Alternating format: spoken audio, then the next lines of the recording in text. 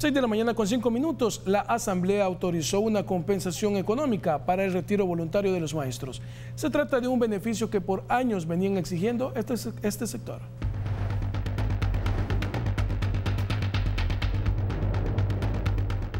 Ahí he dejado mi juventud, llegué joven es Ángeles del Pilar Mejía. Ha dejado 34 años de su vida en la escuela Claudia Lars de Zacatecoluca, pero no ha podido jubilarse porque la pensión que recibiría no le alcanza para vivir. Me siento satisfecha y ahora podría pensar en que sí me puedo retirar. Como ella, muchos maestros ya dejaron una vida completa en los salones de clases y por años han pedido a los diputados que les aprueben esta reforma. Cualquier maestro que solo haya trabajado 5 años, 10 años, 15 años, que no cumple el requisito de ley, puede renunciar e ir de, así como está hoy la ley, renuncia y no le dan ni 5 centavos. Los maestros deberán recibir 15 días de salario por cada año laborado. Entonces quiere decir por año trabajado. Eso es el, como el logro fundamental que nosotros llevamos. La modificación entraría en vigencia a partir del 2021. El presidente electo celebró la decisión, pero también pidió a los diputados que respondan cuando tengan que autorizar el financiamiento para todos los proyectos que están aprobando.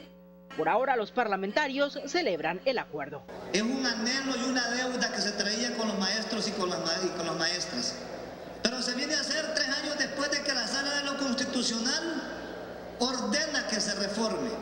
Es un beneficio que por mandato constitucional les corresponde a todos los maestros de El Salvador. Esta es la tercera medida que la Asamblea aprueba y que tendrá un impacto en los presupuestos que deberá elaborar el nuevo gobierno. Las otras de la lista son el incremento al FODES y la ampliación de la cobertura en el Seguro Social para los hijos de los cotizantes. Los maestros que quieran aplicar a este beneficio de compensación económica por retiro voluntario deberán informar al Ministerio de Educación a más tardar en el mes de agosto para que su dinero sea considerado en el siguiente ejercicio fiscal. Para Teleprensa Canal 33, Guadalupe Bonilla.